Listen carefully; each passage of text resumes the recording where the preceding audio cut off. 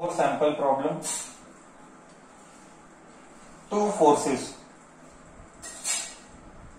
two forces, 5 Newton and 7 Newton.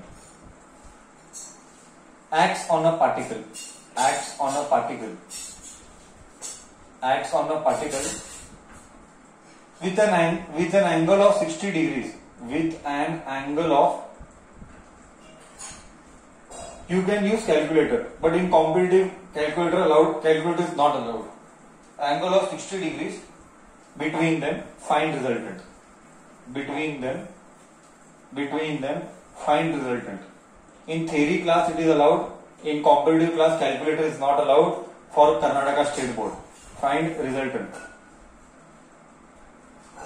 हाँ देखो अब कौन बताता है करेक्ट फास्टेस्ट फिंगर फ़र्स्ट मुझे एकदम फास्ट आंसर चाहिए और रूट के लिए बिना, हो सके तो बिना कैलकुलेटर बताना और एक्यूरेट बताना। जल्दी जल्दी जल्दी। Sir root hundred five answer आ रहा है। गलत है। Okay let me see who does it fast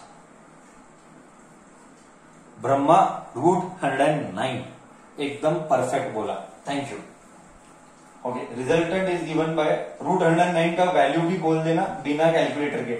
near by value बता देना। फाइव का स्क्वायर सेवन का square plus two into five into seven into cos sixty five का स्क्वायर ट्वेंटी फाइव सेवन का square forty nine plus five five two jar ten ten into seven ten ऐसा ही रख smart बच्चा ऐसा ही रखता है मल्टीप्लाई नहीं करता है। कॉस सिक्सटी क्या है? कॉस सिक्सटी हाफ़ करेक्ट है?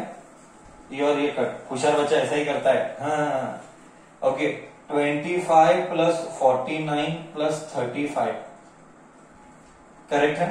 Twenty five plus forty nine plus thirty five hundred nine आ रहा है। हंड्रेड नाइन आ रहा है। रिजल्टेंट अब बोल। वैल्यू की एकदम इंस्टेंट एक्यूरेट आंसर बोल। मैं एक्यूरेट एक्यूरेट नहीं बता पाएगा ऑलमोस्ट बोलेगा। 10.5 न्यूटन तक आएगा। क्यों? ये ये इंस्टेंट आता है। हमको ये सब इंस्टेंट तो ही कॉम्पिटेटिव होने वाला। नहीं तो कॉम्पिटेटिव होने वाला नहीं।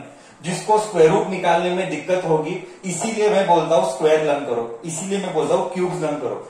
जिसको ये सब नहीं आता है कैलकुलेशन वो ज़िंदगी में कभी सोचना नहीं है कि मैं इंजीनियरिंग करूँगा, या मैं नीट करूँगी, करूँगा, या मैं जी वो होने वाला तुम्हारे हाथ से नहीं है। तुम प्लीज़ खुद से एक्सपेक्टेशन मत रखो। अगर एक्सपेक्टेशन रखते हो तो बेसिक्स आने चाहिए राइट नहीं तो एक्सपेक्टेशन रखना गलत एक्सपेक्टेशन है। होने वाला नहीं है ओके क्योंकि हम उसको एक क्वेश्चन एक मिनट में करना है। तो कैसे करेगा? जब तेरा कैलकुलेशन का ग्रिप ही नहीं है तो कैसे करेगा? है तो ये कंपलसरी है। उनको टेबल स्क्वायर क्यूब सब कुछ मुँह पे चाहिए। ओके मैंने क्या किया? मुझे मालूम है हंड्रेड का पावर टेन है वन ट्वेंटी वन का इलेवन है।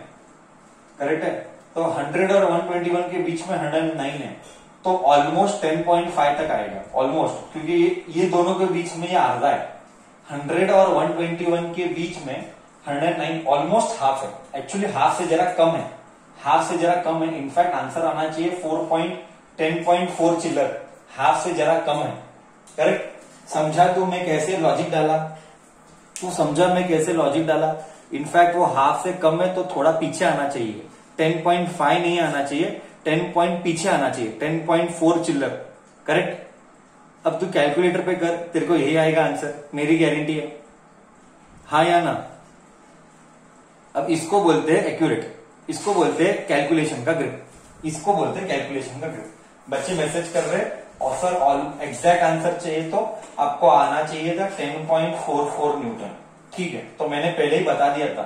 This is why we tell calculation calculation physics में तो कैलकुलेशन ही जिताएगा कॉम्पिटेटिव में। नहीं तो होने वाला नहीं है ये बार बार तुझे याद दिलाना ज़रूरी है।